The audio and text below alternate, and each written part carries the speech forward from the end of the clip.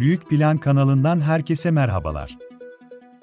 Birleşmiş Milletler Eğitim, Bilim ve Kültür Örgütü'ne bağlı Dünya Mirası Komitesi, geçen yıl camiye çevrilen Ayasofya ve Kariye'de yapılan değişiklikleri bildirmesi ve yapılan değişikliklerle ilgili güncellenmiş rapor sunması için Türkiye'ye 1 Şubat 2022 tarihine kadar süre verdi. 1985 yılından beri Dünya Kültür Mirası listesinde yer alan her iki kültürel varlıkta camiye çevirme kararı öncesinde müze statüsündeydi.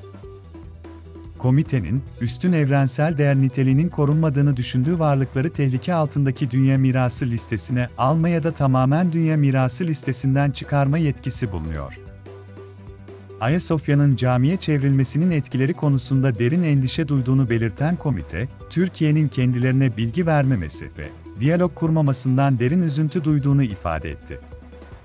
Çin'de düzenlenen yıllık toplantısında Dünya Mirası listesini gözden geçiren komite, Ayasofya ve Kariye'deki değişikliklerin, bu varlıkların üstün evrensel değeri üzerinde potansiyel etkileri olabileceği uyarısı yaparak, Türkiye'yi bu varlıklar üzerinde önemli değişiklikler yapmadan önce uluslararası diyalog ve işbirliğine çağırdı.